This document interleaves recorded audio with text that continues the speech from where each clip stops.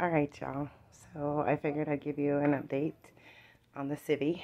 Um, it's just about done. You can't really see back there because my light's off, but anyway, you see it's like remnants, different colors. It's remnants of a rainbow that I've got on the hood. And a couple comments and stuff, you know, just some things you need to see in the galaxy, you know, whatnot.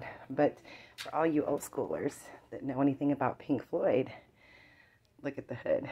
It's got the Pink Floyd pyramid the Wall and Dark Side of the Moon. I kind of correlated both the albums in one because it correlates to what we got going on right now. But anyway, um, it's a paint job that you won't see because it's custom work that I did myself. The um, rainbow is three-dimensional. It's in different layers. So as you can see that, nobody else is going to, you won't find another paint job like this on anybody else's car. I assure you this. But yeah, so, and I got a couple comments.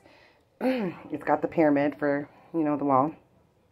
And the sun eclipsing, or the moon eclipsing the sun from our light, or our knowledge. So we know what the moon is. and we know what the sun is. Anyway, um, I'm going to add an alien on my hood, or my roof up there where the alien is going to be controlling the line that feeds into the pyramid that puts off the rainbow that controls the world.